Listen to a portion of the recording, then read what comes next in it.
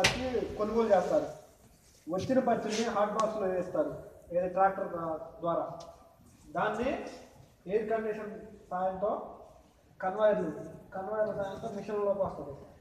మిషన్లోకి వచ్చిన పత్తి ఈ విధంగా జిన్నింగ్ అవుతుంది.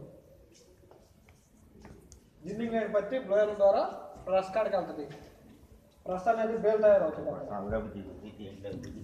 అన్న విత్తనాలు ఎటు పత్తి పత్తి విత్తనాలు అనేది బకెట్ ద్వారా అక్కడ సీడ్ గూడంలోకి వెళ్ళిపోతుంది. సీడ్ కన్వైర్ ఉన్నాయి కదా కింద. కన్వైర్ ఉంటుంది. ఆ కన్వైర్ సాయంతో బకెట్ ఎలివేటర్ నుంచి సపరేట్ అయింది కొనుగోలు చేస్తారు. కొనుగోలు చేస్తారు.